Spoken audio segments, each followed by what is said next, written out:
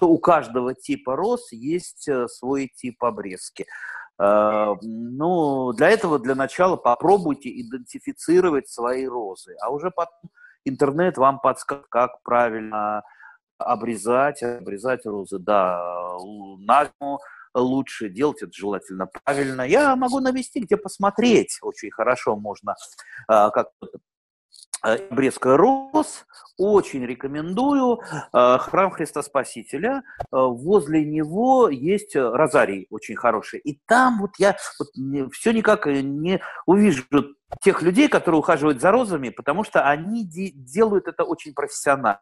Посмотрите, как там они обрезанные. Ну, там э, в основном чайно-гибридные розы присутствуют, но есть и другие обрезка идет э, осенью. Вот сейчас, по-моему, они э, провели эту обрезку, ну, примерно там сантиметров на там, 20 на 30, плюс они не закрывают розы ничем. Вот тоже основная, основной вопрос, потому что все считают, что розы надо обязательно укрывать. Чем сильнее их укутаешь, тем лучше будет. Да, на следующий год открывают розы где-то в мае, в середине мая, все черное. Ой, наверное, мы недостаточно хорошо укрыли, надо побольше накрутить. Так вот, дорогие друзья, скорее всего, ваши розы просто сопрели. А, вот э, укрывать их надо либо правильно, либо вообще никак не укрывать, если не умеете укрывать. Так вот, у храма Христа Спасителя э, вот те замечательные цветоводы, которые розами занимаются, они вообще их не укрывают. Тут можете посмотреть, э, там утепляется корневая система, как правило, мульчи, там либо э, торф, торфяная крошка и, и кора, кусочки коры, да.